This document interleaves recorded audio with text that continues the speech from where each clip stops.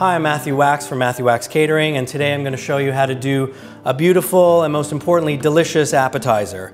Uh, today I'm going to do a sweet tuna and avocado stack with toasted white and black sesame seeds and green onion. So the first thing I'm going to add is the diced tuna, and then the green onion,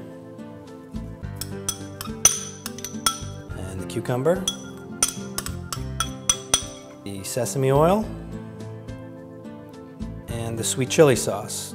Now it's important when you're making this not to add the sweet chili sauce till the very end because the sugars and the acids in the sweet chili sauce will start to cook the tuna and before you know it you'll have ceviche. So make sure to do it last minute. And toasted sesame seeds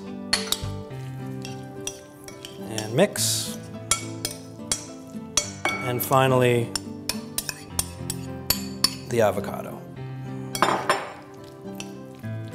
So this appetizer makes a great first course. Uh, it looks great, it's delicious, and it'll certainly impress your friends. What we're gonna need is a ring mold. This is something you can buy at any kitchen supply store, and it's a great tool to have in the kitchen. So now it's time to plate. I'm gonna take a little bit of our tuna mixture, and we're gonna put it right in the center of the plate.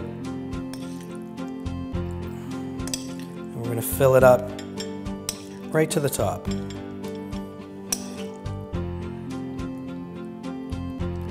then with a little bit of pressure with the back of the spoon, we're just going to press down.